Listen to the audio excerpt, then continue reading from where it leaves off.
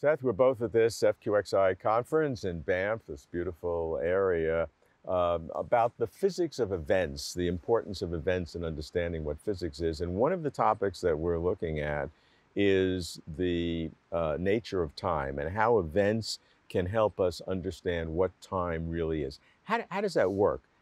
H- how can events help us understand what time is? Well, an event is something that unfolds in time, like a clock ticking, or uh, an electron moving from here to there, or a bit flipping in a computer, or you know, just our thoughts moving on and our conversation progressing. Um, now, time is a mysterious thing, and we don't understand it well. I mean, Heraclitus said that time is like a river, like this Yeah, beautiful yeah, river yeah, here, the water flowing, and then time ever moving onward. And um, uh, but what makes us feel and perceive that time is going? Um, so uh, the first answer is I don't know. Almost every question is the same. yeah, um, but but there are uh, different arrows of time. There's a perceptual arrow of time where we don't know something and then we know, know something that we didn't know. This is about getting information.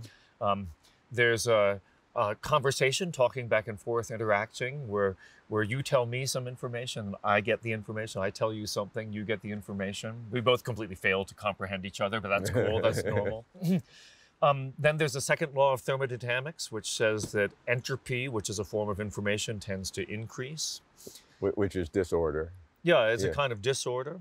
This is related to the idea of an event in quantum mechanics, because in quantum mechanics, an event can be uh, thought of as something where you know an electron moves from here to there, or there's an interaction with the environment. The interaction kind of randomizes what happens, decoheres what happens, as, mm-hmm. it, as it said, and and then this adds a little bit of randomness into the system, and it makes something happen. You know, suddenly an electron was here and there at the same time. Now it's either here or mm-hmm. there. That can be considered an hmm. event in quantum mechanics. So to, to understand time, though, there I, I, I- I perceive there are two different ways of thinking about it. One is that the events, as you say, sequence occur in time. The Uh-huh. other way to think about it uh, is that there is no time. There's just an event and then another event, and we call that time, but it's not really time. Uh, so, uh, is this and, and people get really angry, uh, you know, in an intellectual way about both which position they're, they're voting. Is time real? In other words, events occurring in time, or is time an illusion or something artificial or emergent or coming out of uh, other things that that that and then that and that the real reality are are events. Time is a derivative of events. Now, is this uh, a, a, a distinction without a difference, or is there something fundamental here? I can answer that question in one word, Robert, and the word is whatever. no, Well, you're, but you're, that's you're- a significant no, point. It is a significant point. Yeah. If it's whatever, that's important. But most people say it's not whatever. Most people say either side is is a, is a fundamental. What is because time is such a fundamental part of the uh, of, of existence. So um, uh, the other position, which from ancient Greek philosopher Paracelsus said, time is laid out all for once, nothing is fixed, nothing happens. And this, of course, is the position in Einstein's theory of general relativity, where space and time are a manifold and all the events are laid out in time once and for all. And, you know, they're just sitting there. And then, of course, we experience things as changing because we're moving through time, but it's all just, all these events are just, Just like you're moving through space, that you're moving through this space-time, Yeah. Four-dimensional block universe, so to speak. Yeah. and that's a very deterministic. Uh, it's uh, you know somebody dies, they're, they're they're still there in part of this system, as Einstein supposedly said to uh, the wife of a friend who died. And understand that, but it. Oh, it's not a big consolation, frankly. I mean, oh, God, Einstein, God, shut up. but I, I, I, I always wonder is, it, is this just literary metaphor or is there a real ontological uh, deep meaning and deep structure in, terms of the positions about time?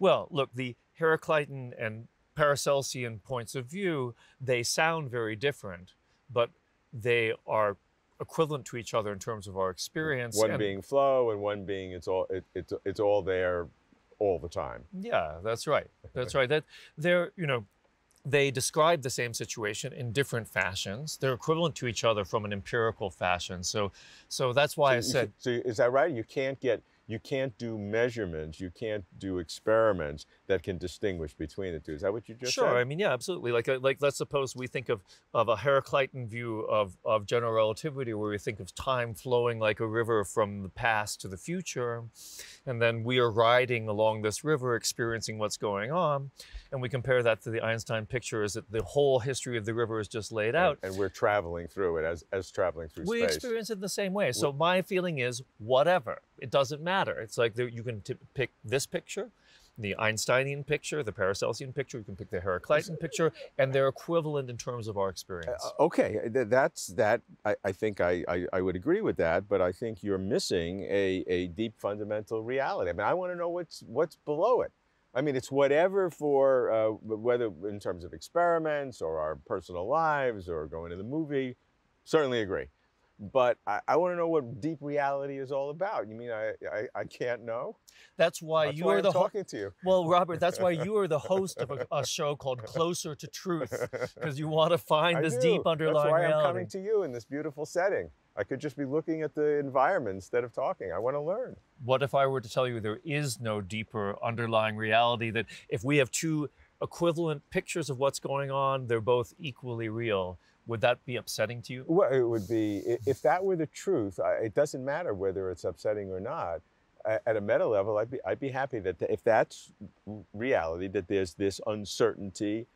I, I would then still ask: Is the uncertainty in in an epistemological and knowledge sense, or is it an uncertainty at a deep reality ontological sense?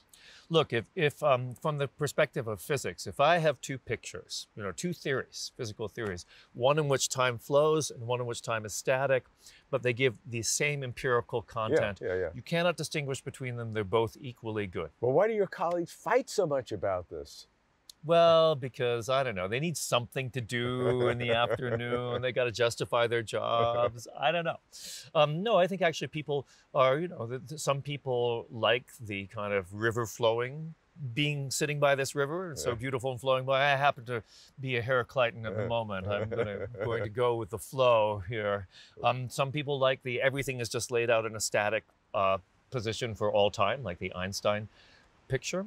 Um, you know, some people just have a feeling that they prefer this rather than another, but that's just a preference. You know, the, the, the two are equivalent to each other. So, from the, the perspective of science, they're the same.